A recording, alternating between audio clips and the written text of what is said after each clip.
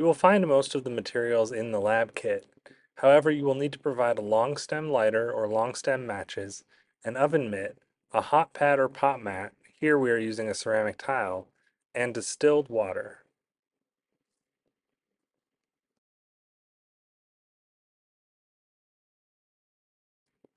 Weigh the 100 milliliter beaker and record its mass. Place the weigh boat on the balance. Look for a button that is labeled tare or just the letter T.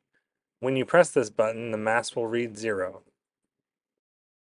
Slowly add the unknown beam mixture to the weighing boat. Allow the balance to give a stable measurement. Continue to add the mixture until you have about 2 grams. Record the exact mass of your mixture. Pour the mixture into the 100 milliliter beaker.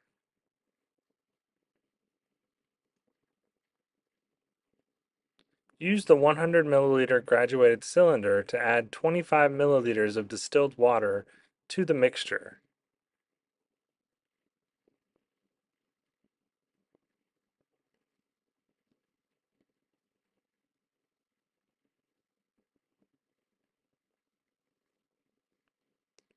Stir for 5 to 10 minutes.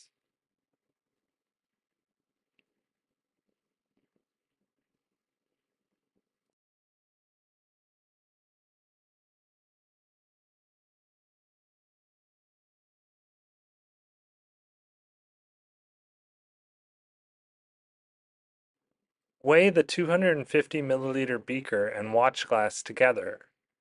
Record their mass.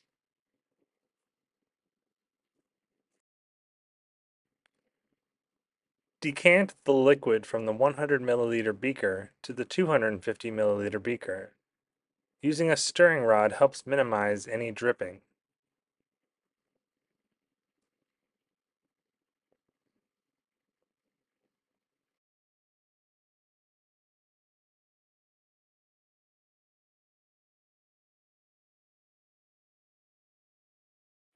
To wash the sand, add 5 more milliliters of distilled water to the sand and stir.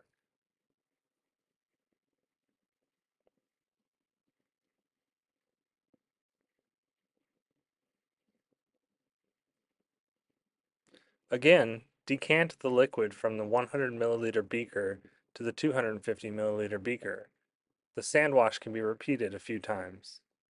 Set the 250 milliliter beaker aside. Do not dispose of the contents. You will need this solution for part 2.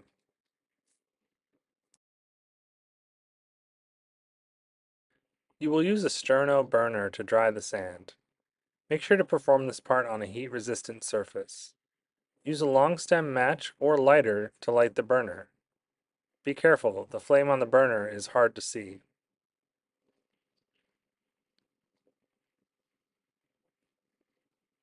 Place the wire mesh stand over the burner. Place the 100 milliliter beaker containing the wet sand on the wire mesh stand.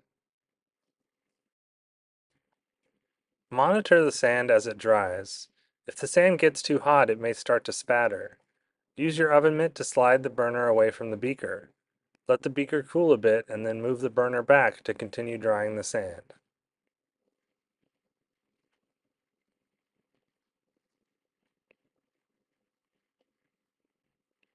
Once the sand is dry, use your oven mitt to remove the beaker from the wire mesh stand and place the beaker on a hot pad or hot mat. Allow the beaker to cool to room temperature, and once the beaker has cooled, use your balance to weigh the beaker and record its mass.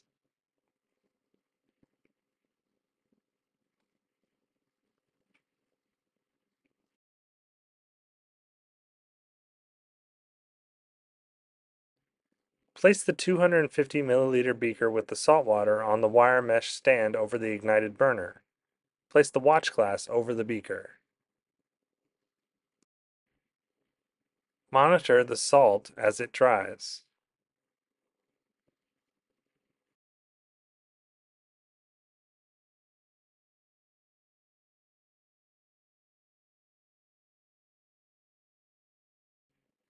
If the contents of the beaker get too hot and start to spatter, use your oven mitt to slide the burner out from underneath the wire mesh stand.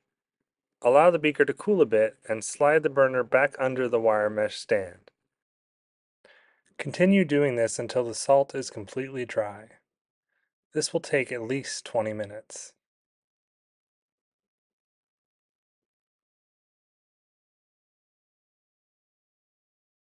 When the salt is completely dry, use the test tube clamp to slide the burner out from under the wire mesh stand. Then use the test tube clamp and the burner lid to extinguish the flame on the burner. Leave the 250 milliliter beaker with the watch glass on the wire mesh stand and allow to cool. Once the beaker and the watch glass have cooled to room temperature, weigh the two together and record their mass. Additionally, once the burner has cooled to room temperature, make sure it is tightly closed. You should now have all the necessary measurements to calculate the percent sand and percent salt of your mixture.